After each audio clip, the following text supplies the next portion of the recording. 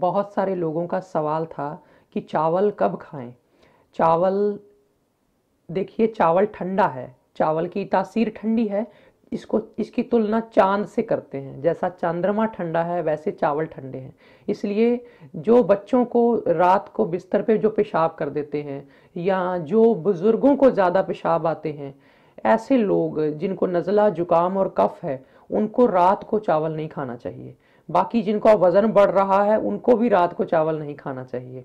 बाकी जो स्वस्थ लोग रह गए हैं, मैं इनको छोड़ करके, वो रात को चावल खा सकते हैं, लेकिन उनको भी रात को चावल खाते वक्त ना तो उसके साथ कभी दही लेना है, भूल करके भी, क्योंकि दही तो रात को लेनी ही नहीं होती।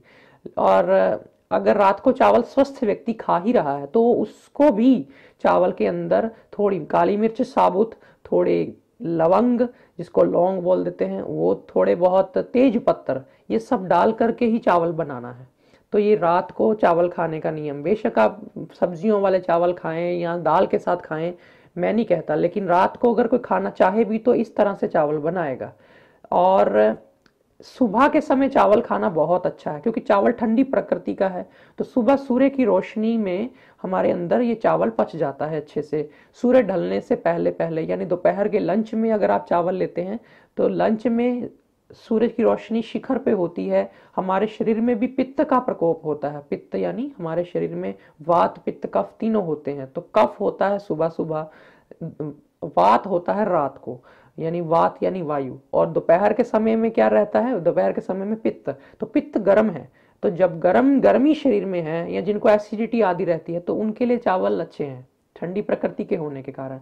लेकिन इस चीज़ का ध्यान रहे कि जो वज़न कम कर रहे हैं, उनको रोज चावल नहीं खाना। जिनको ज़्यादा यूरिन आते हैं, उनको रोज चावल नहीं खाना।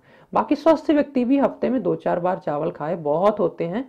और बड़े अनाज है खाने वाले। लोग चावल और गेहूँ पे टूट पड़ते हैं, जो कि गलत है।